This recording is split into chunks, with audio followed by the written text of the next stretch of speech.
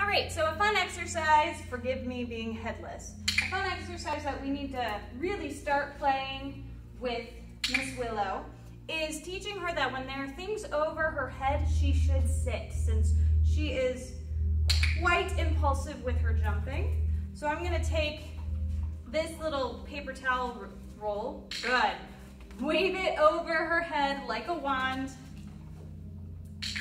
and every time she goes into that nice sit, I'm going to click and treat. So we'll wave it over. Good. I know, you want to get it. Eventually I might give it to you.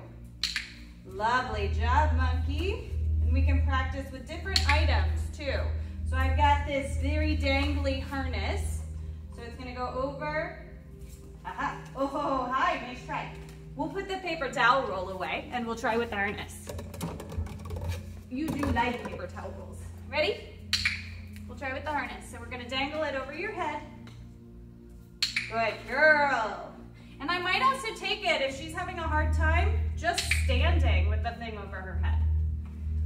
But the more we can practice with different items, think about grocery bags, right? She just stood there and didn't jump, so I'll click and treat her for that.